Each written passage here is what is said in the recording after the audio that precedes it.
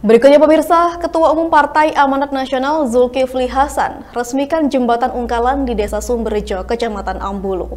Dengan selesainya pembangunan jembatan ini diharapkan dapat membantu meningkatkan roda perekonomian warga setempat, karena jembatan ini merupakan jembatan penghubung antar desa. Peresmian jembatan yang dianggarkan sebesar 2,4 miliar rupiah ini telah diresmikan dan siap untuk digunakan.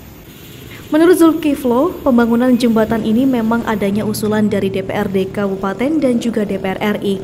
Untuk anggarannya memang langsung dari pemerintah pusat. Pria yang juga wakil ketua MPR ini berharap setelah diresmikan jembatan ini dapat membantu warga dalam meningkatkan roda perekonomian. Dirawat oleh masyarakat sekitar agar awet karena sangat dibutuhkan bagi aktivitas warga setempat. Ini yang bangun PU bukan kita, tapi memperjuangkannya kita dengan sambung jembatan ini antara masyarakat sana dengan yang ada di kawasan itu jadi lancar, mudah, ngangkut apa namanya semangka jadi gampang. Dari Jember, DKAJ Jember 1 TV melaporkan.